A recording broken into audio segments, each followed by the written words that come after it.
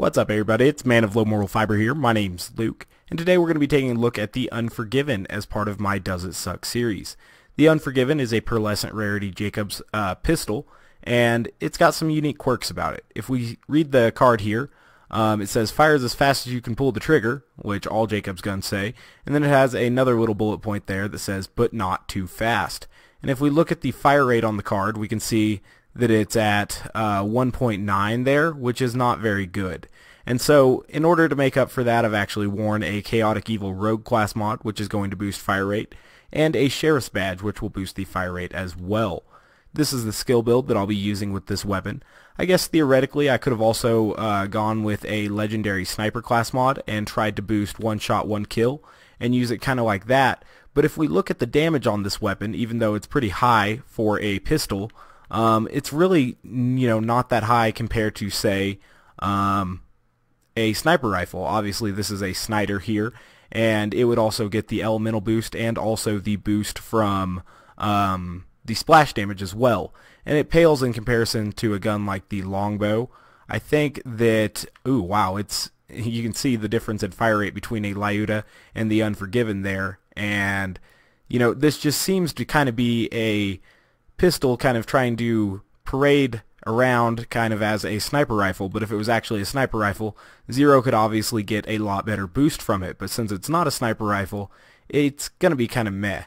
Um, if we look at it here compared to the uh, Trespasser, we can see that it has less damage than the Trespasser, which is obviously a terrible weapon for anything other than knocking Pete's face shield off. And it does have a little higher fire rate than that, but, um, you know, it's it's just really bad. And we'll see how it does. I wish I had a um, purple, purple Jacob sniper rifle here on me so that we could compare it to that, but for whatever reason I do not have that, so eh. You can see that the Skull Masher definitely has a higher total damage potential than the Unforgiven, and it has a much higher fire rate as well. So those are all things to consider when using this weapon, and we'll see how it does here. Hopefully my fire rate boost from the Chaotic Evil Rogue Comp and the Sheriff's Badge are enough to make it at least halfway decent. We'll see how it does. Now, this is the first time that I've ever really used this weapon, so um, we'll see. So far, it's looking pretty bad. It took more shots to kill that guy than I was expecting it to. Um, we'll see if we can get maybe a board critical hit here on these two and if that will make any difference for us, but uh, I mean, it's it's killing things, I guess, but so far it is not impressing me. Um, the Maggie is definitely a much better Jakobs pistol, and if I had the option, I would choose a regular purple Jakobs iron over this as well. Um, but we'll see. Should have brought some of those weapons as comparison for this particular weapon, but I did not. Not hitting critical hits, this weapon is performing pitifully. Well, eh, it's doing okay. Might have spoke too soon on some of the initial judgments here. Improving the fire rate a lot via the Chaotic Evil Rogue Com, Two Fang, and the Sheriff's Badge isn't working out too badly for me so far. We're able to actually kill things with it, but I think there are better options available, obviously. It just doesn't have a high enough base damage to justify its abysmal fire rate for a Jakobs pistol, is my opinion. So far. But we'll see if that holds up. It's definitely better than the Rex, which is the more extreme version of this weapon, I'd say, with an even higher base damage and um, an even shittier fire rate. But we'll see how we do here. Let that exploder go ahead and take care of himself. Um, I am going to drop down here and actually get these grenades as well. So, mm, we made it through the first room easier than I thought we would, so I guess that's good. Um, if I had to guess, Zer0's probably the best character to use this weapon with, and so far with Zer0, it's not performing that great. So, with other characters, I'd expect it to be even a little bit weaker, but we'll see how we do here. So obviously, um, you know, with the Jacob shotguns and everything, we were able to one-hit this guy. And so far with this weapon, we were not able to one-hit him, so um, that doesn't bode too well for him. Or this weapon, I should say. even when we're hitting critical hits, it's doing a lesser amount of damage than I would want for a critical hit with the Jakobs weapon. And that's saying something, you know, because it does have a pretty high base damage and everything like that. However, if it was a sniper rifle, we could definitely get better use out of it because of critical ascension and the, you know, potentially use maybe a legendary sniper column to better effect. And also, um, I don't know.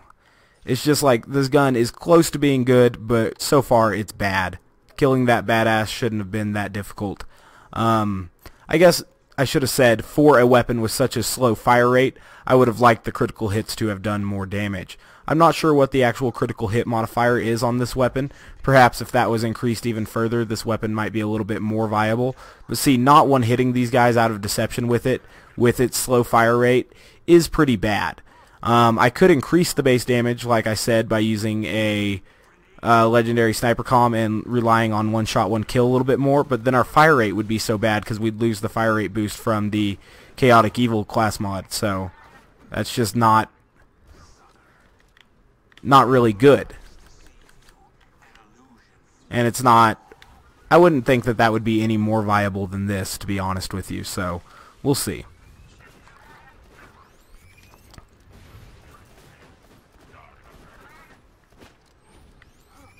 Again, for such a slow firing weapon, um, Two Fangs making it look like it fires a little bit quicker here.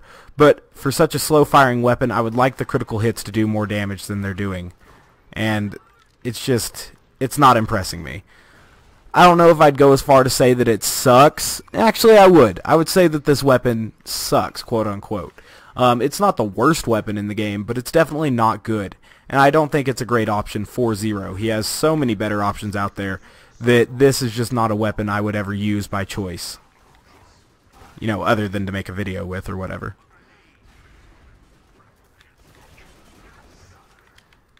Definitely enjoyed using the Maggie more. Um, definitely enjoyed using the Iron more when I used the Iron on Zer0 a little while back.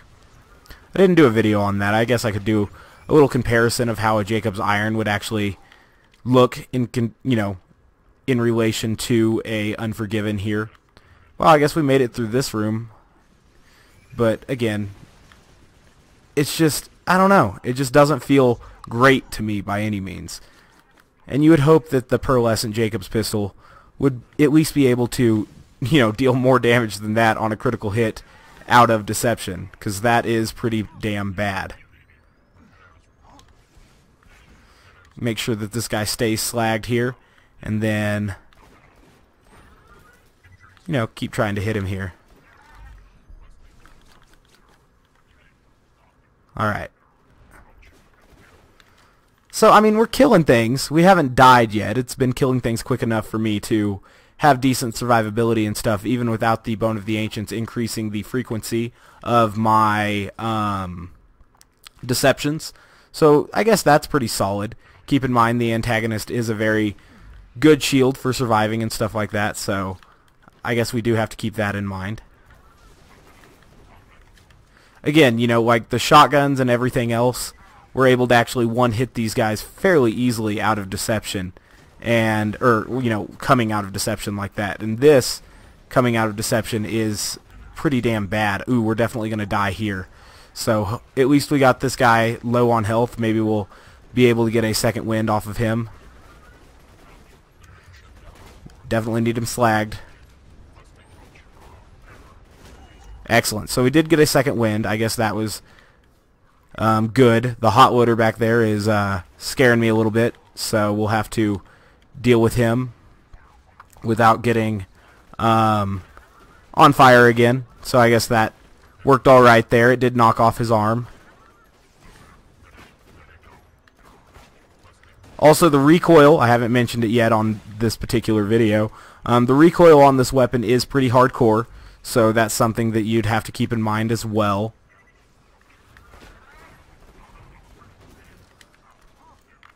Could theoretically use a uh, Jakobs uh, Allegiance Relic to alleviate some of that problem, but still, um, that would take away our Sheriff's Badge and some of the potency that we're gaining from that. So, eh. I am out of slag grenades, so I should probably look at replenishing those in some particular way because I can't really rely on the antagonist to slag. I guess I could use the slag pimpernel to slag, but that would probably end up dealing more damage. Well, I guess I am heavily spec'd into um, velocity, so it will take away some of that potency, but that would probably end up doing more damage than our Unforgiven is currently doing, and that's not really what you want.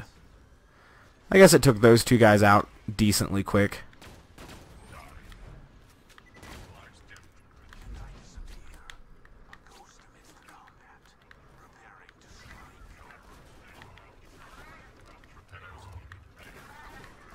Eh, I don't know. It's hard to say if this weapon, you know, full on sucks like to the level of like Cobra suck, but it's it's up there. I mean, it's it's really bad.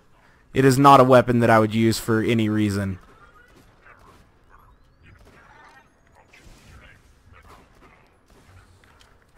I don't know. It's it's so meh for me. I just I can kill things with it. So I don't know if it's you know logical to say that it flat out sucks because I mean it's still killing things here at overpower level 8 but man it's it's a letdown that's for sure you know what I mean like I think everyone would want the Unforgiven to be good I mean it was an awesome weapon in Borderlands 1 that everyone probably has fond memories of or at least those that used it um, and so it's just kind of a shame to see it being so underpowered here in Borderlands 2 or at least underpowered for what you would want. You know, you'd want the Jakobs pistol to be pretty badass, or at least you know you would hope so. But it's not. It's it's just it's not. I don't know. You guys can tell me what you thought. Um, you know, after viewing the video, if you think it's really complete ass or if it's just semi ass. I don't know, like ass light. I'm not sure. It's it's bad. Oh, we actually did get a one shot. So that was nifty. Um, I don't know. It's just, I guess it was okay. I don't know. Tell me what you guys think. It's it's hard for me to make a judgment on this. It's so middle of the line. I do consider it to be worse than a regular Jakobs Iron. I consider it to be miles behind the Maggie, and I don't know if I can say that it flat out sucks. But if it doesn't flat out suck, it's very close to sucking. The Unforgiven is not a good weapon, and it's not one that I would recommend. Um, it was semi-fun to use just because it's a Jakobs pistol, but there are so many better options, it's just like, eh, you know what I mean? It is better than the Rex, I'll give it that. The Rex is actually ass. This gun was like marginal. So, as always, guys, I thank you very much for watching. I do appreciate it. If you haven't yet taken the time to subscribe, please do so. Otherwise, I do hope to catch you next time. Bye, guys.